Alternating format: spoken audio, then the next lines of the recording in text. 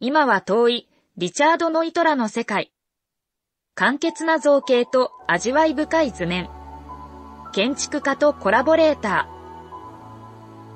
ー。37 Museum and Planetarium, Dayton, Ohio 博物館とプラネタリウム、デイトン、オハイオ州。The structural dome for the planetarium chamber forms the projection surface above a 7-foot horizon line. The spherical appearance dictated the use of concrete to form the structural system of the dome. The steel reinforcing rods were wire-tied to the exterior face of vertical ribs. Lath and plaster gave a formed base by which the gunite could be applied from the exterior, covering the structural steel ribs and reinforcing rods.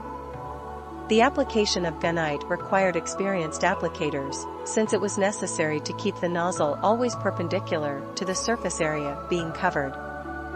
The interior surface above the 7-foot horizon line was covered with a 1-inch acoustical plaster. The surface is free of all trowel marks which would show up in the projection, that animal fair gaining in charm and attendance as the outer walls, against which the animal display occurs, are transparent and the lovely Ohio landscape of this nature preserve becomes itself background and outlook to birds and beasts exhibited alive. From a westerly terrace and from a pedestrian walk leading west along a now glazed north front, exhibits can be seen by visitors also from the outside, especially when the illumination is suitably designed, through heat and glare screening plate glass. Also, the spur walls of the north front, which for summer time are so positioned that they avert the cumbersome afternoon sun from the northwest, are to be constructed of the same material.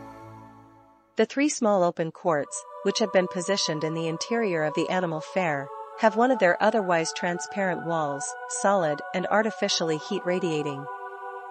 The purpose of this is not merely to melt the winter snow and drain the snow water, but to permit it will a softening of the rigorous Ohio winter climate for animals and surrounding vegetation, or an interesting advancing of the season, say, from March to May, for demonstrating in one of the open cages contrasting results and to compare them with others.